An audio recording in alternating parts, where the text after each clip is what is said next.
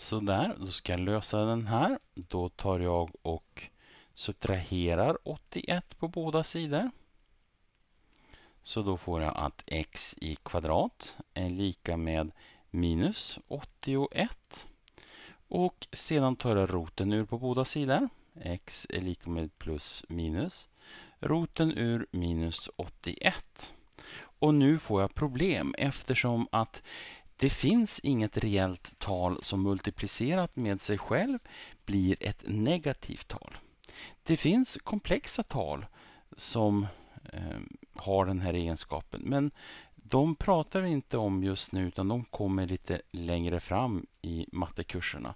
Utan här så jobbar vi med de reella talen och då saknas det något tal som har den här egenskapen att talet multiplicerat med sig själv blir minus 81. Så jag kan inte ta roten ur. Så jag får skriva så här att eh, ekvationen saknar. Och nu är det så här att den saknar ju egentligen inte lösning. Det är bara det att vi inte har jobbat med de här lösningarna.